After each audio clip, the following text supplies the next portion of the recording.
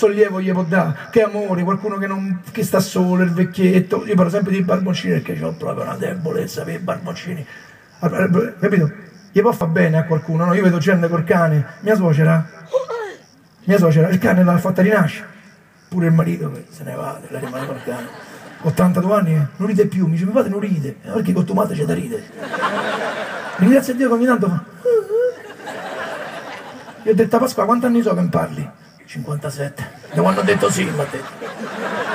Chiusa la parentesi di cani, se no pare che sono troppo fazioso e cioè, lo spettacolo è pure questo. Volevamo se siamo qui, capimo che diventa tutta una guerra per strada, è quello che ha la macchina, è quello con l'Equitalia, diventa che tocca uscire col bazooka. Su, eh sì, bravo. È mia moglie che mi dà sta cattiveria, signora. Perché io l'ho sposato due volte, cara signora. Si chiama?